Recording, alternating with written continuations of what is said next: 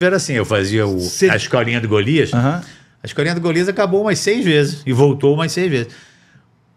E mudava Que- de horário. Não, cara, porque o Silvio chegava, É. pô, a escolinha do Golias, negócio tá acaba com essa merda. Aí ia pra Miami. Três meses depois voltava. Ué, cadê a escolinha do Golias? Você mandou tirar, Silvio. Que tirar, cara? Golias é muito bom. Que aquilo é ótimo, bota essa porra nós. Ligava, é, volta pra fazer.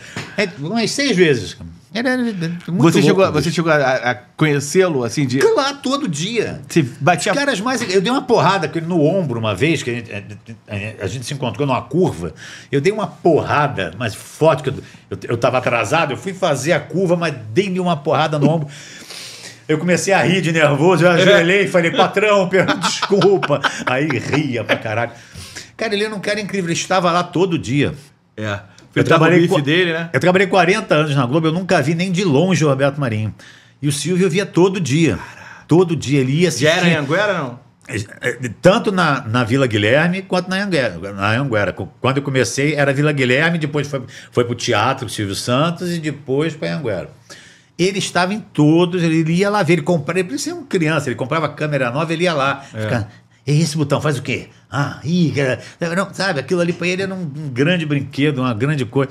Ele estava todo dia lá, todo dia, todo dia. Ele ia, ele, ele ia comer na sala, não é na, Fazia um bifezinho dele, também, refeitório, né? ele ia pro É, o refeitório, fala comia com a gente e tal, tinha bobs, aquelas merdas É. lá. Ele parava lá, comia.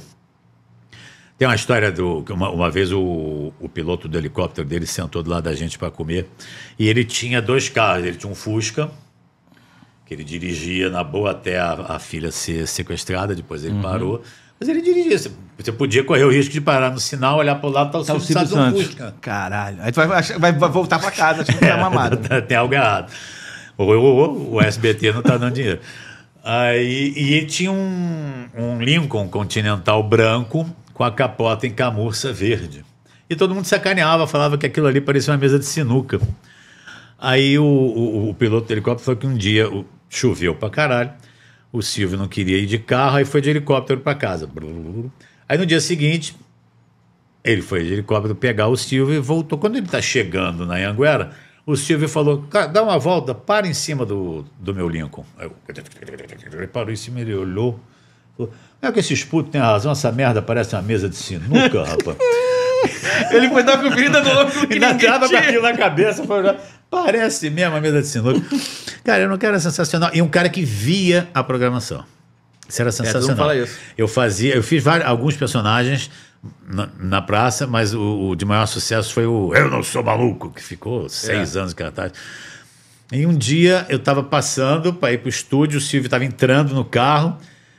E a minha primeira firma, porque aí a gente tinha que ser pessoa É, PJ. PJ lá, e a minha primeira firma ficou conhecida lá porque não tinha um nome para dar e teve que ser feito na hora, correndo.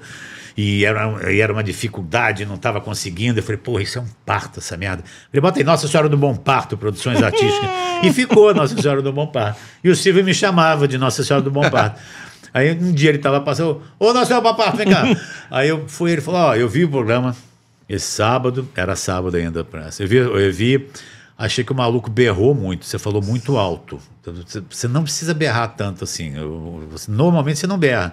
Mas não sei o que, que deu, que você falou muito alto, sabe? Não- cuidado para não berrar. Eu falei, não, não, beleza, beleza. Quer dizer, o cara vê o que, Que está acontecendo, foda. entendeu? Que Um cara diferença, tá- né? não, que diferença. Nossa Porque senhora. você tá falando aqui, a gente tá aqui, sei lá, 15 minutos de papo.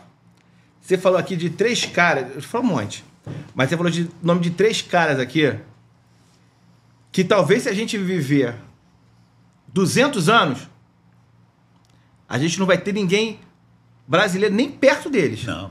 Silvio Santos nem perto.